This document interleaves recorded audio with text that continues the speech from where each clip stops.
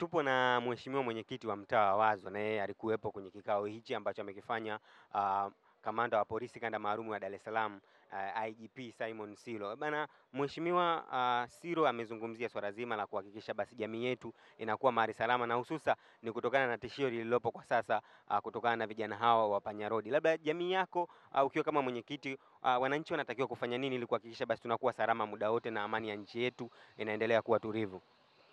Kwanza kabisa kwa majina naitwa Medad Richard Mashauri, ndio mwenyekiti wa serikali ya mtaa wa Wazo, nikiwa ndio mwenyekiti wa kamati ya ulinzi na usalama kwenye mtaa huu wa Wazo. Tunao wajibu kubwa kabisa kuhakikisha kwamba tunawalinda wananchi wetu, tuhakikishe kwamba usalama wao uko kwetu sisi, tukishirikiana na jeshi la polisi. Sisi kama viongozi wa serikali ya mtaa wananchi, kuna ruling ambayo inawapa maelekezo wananchi kushiriki au kuchangia. Kuchangia kulingana na maelekezo ya vikao ambavyo tunavyovifanya kwenye, kwenye mitaa au kwenye zoni za mashina, wanaweza wakapanga labda shilingi elfu mbili au shilingi elfu tano Atakayeshindwa alinde au achangie. Asiposhiriki kwa yote yale mawili, mojawapo sasa atakuwa anajitakia yeye mwenyewe kwenda mahakamani jela miezi sita au kulipa faini shilingi elfu hamsini na anapewa risiti ya serikali.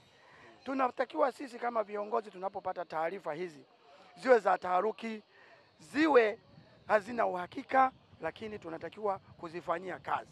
Lakini kunakuwa na shida kidogo kwenye muunganyiko wa sisi baina ya polisi na sisi viongozi wa serikali. Unatoa taarifa, lakini ile taarifa unayoitoa inamezwa inaonekana mwenyekiti unatoa taarifa za uongo. Haiwezekani mimi kama mwenyekiti wa serikali niliyoaminiwa na wananchi kuwaongoza mtaa huu nihakikishe kwamba vilio vyao viko kwangu kwangu, na lazima wanipe taarifa za ulinzi na usalama, na mimi naziwasilisha kwenye vyombo ambavyo ninavyovijua mimi.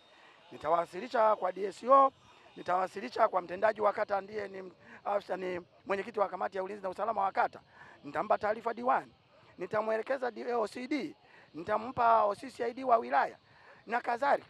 Lakini katika kuelekea mkesha wa, wa, wa sikukuu, mimi baada ya kupokea taarifa taharuki ya wananchi kwamba kuna hao wahuni hao wahuni eh, wanaojiita panyarodi hao wahuni wananchi wana, wanakimbia na mimi nilikuwa nimekaa kwenye grocery yangu tukiwa na wananchi wangu tunaendelea, wananchi wakaanza kufunga maduka na kutaka kukimbia. Mimi nikamwambia hapana, msikimbie, tunajipanga tuyaandae haya makreti haya, ndio itakuwa ni zana. Lazima tujikinge, hatuwezi kukimbia. Lazima leo hawa tunatakiwa tuwadhibiti, tunapowakimbia tunawapa viburi. Nikawashukuru wananchi wangu, walinielewa, hawakukimbia. Na wakati huo na mimi nikatoa nikapiga simu kwa kwa OCD. OCD akanielekeza nikashusha kwa CEO, kwa DSO. Lakini kilichoendelea baadaye, nilipowapigia polisi wakaja, walivyooleki wao, muda wote wanategemea mafanikio hawakufanikiwa kuwapata wale panyarodi, lakini cha kusikitisha, mimi nilichukuliwa na kuenda kuwekwa ndani masaa manne, niko ndani, kwamba mwenyekiti unatoa taarifa za uongo. Yaani mpaka dakika hii mimi kama mwenyekiti wa kamati ya ulinzi naogopa kutoa taarifa, kwa sababu unatoa taarifa, watakapokuja wasipofanikiwa wanakukamata. Ndio hivyo.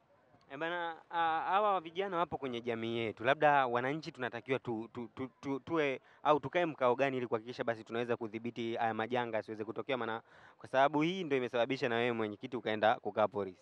Hii mimi nina, ninachotoa wito kwa wananchi wanaonisikiliza mtaa wa Wazo na kata nzima kwa ujumla na sehemu nyingine, tunatakiwa sisi kujiorganize, hatutakiwi kukimbia, tuwe na umoja, tuwe na umoja. Hawa ni wachache, tujiandae kuwa na firimbi tunapoona kuna kiashiria cha aina yoyote, mwananchi yoyote anatakiwa awe ni mlinzi, awe ni usalama, atoe taarifa kwa mapema kwa viongozi.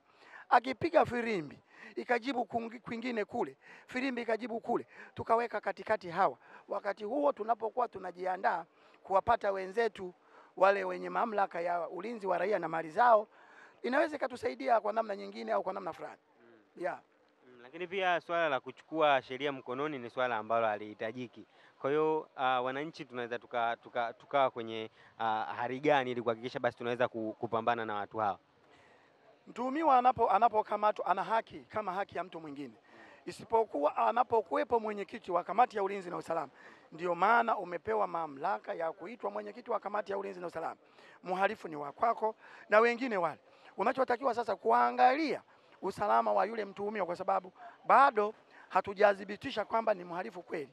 Tunatakiwa sasa kumrinda na kuhakikisha kwamba usalama wake uwepo vizuri, ili tuweze kuwakabidhi wenye mamlaka waendelee kum, kum, kum, kumhoji na tuweze kupata taarifa, kwa sababu yule hayuko peke yake, ana wenzake, ili tuweze kupata taarifa ambazo zitaweza kutusaidia yeye na wenzake ambao wanaotusumbua wakati huu wa hao wahuni. Mm. Asante sana mheshimiwa. Na kushukuruni sana, karibuni sana mtaa wa Wazo. Mungu awabariki sana, Asante. asante sana.